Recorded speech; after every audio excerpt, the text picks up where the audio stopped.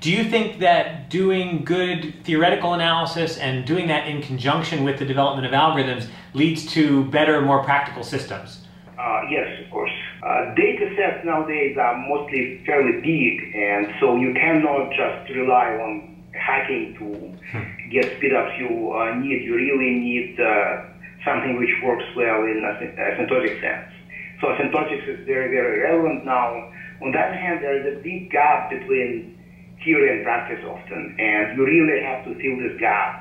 And uh, most developers, uh, it, it's hard for developers. They, they don't have the background, and also they don't have the time to read the latest paper and uh, within the time they have to develop a product to uh, implement the best algorithm. Mm. So I think it's very important to come up with theoretically good algorithms and investigate their practicality and describe their practical variants. And do you see that happening by people working in teams, or do you think people like each individual has to be expert in both uh, the engineering uh, side and also the analysis?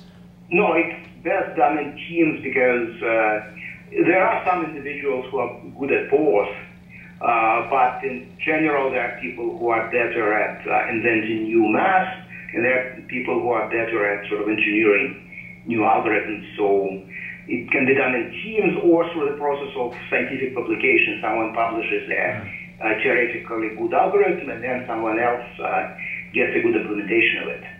For me, algorithms have several components. There's a mathematical component of algorithms, which is formal analysis of algorithms, where you prove big-O bounds.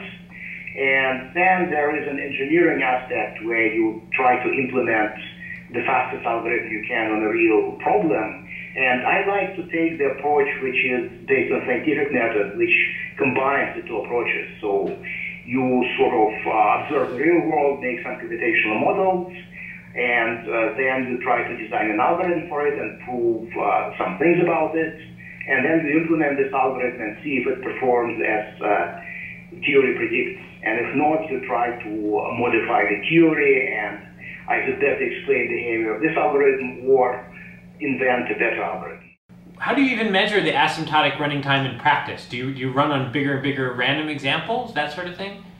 Uh, it's easy on synthetic data. Yeah, if you have uh, a certain generator which where you can set parameters then you can measure how the algorithm does. Uh, on real world data, it's much harder. Yeah, right, because it doesn't necessarily scale in a natural way.